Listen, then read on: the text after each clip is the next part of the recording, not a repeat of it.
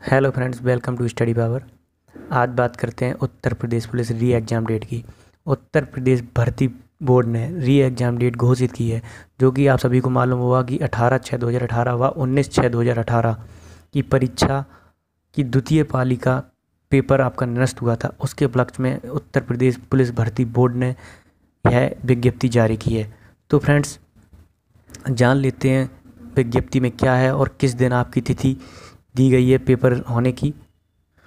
तो फ्रेंड्स, अठ, अठारह छः दो हज़ार अठारह व उन्नीस छः दो हज़ार अठारह की द्वितीय पाली का परीक्षा का पेपर आपका नष्ट किया गया था। तो उसके उपलक्ष्य में विज्ञप्ति है, विज्ञप्ति दिखाते हैं आपको हम। विज्ञप्ति में कहा गया है फ्रेंड्स कि आपका जो पेपर है री एग्ज़ाम है, पच्चीस दस दो हज़ार अठारह और छब्बीस दस दो हज़ार अठारह को करना संभावित किया गया है।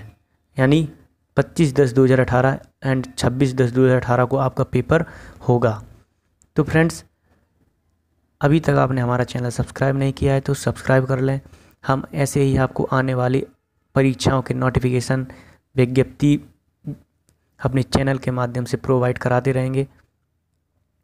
तो फ्रेंड्स, अब आपको पता चल ही गया होगा कि 25 दस 2018 और 26 दस 2018 को उत्तर प्रदेश पुलिस का री एग्ज़ाम निश्चित किया गया है। तो फ्रेंड्स, इसके एडमिट कार्ड बात आती है अब एडमिट कार्ड की। एडमिट कार्ड कब जारी होंगे?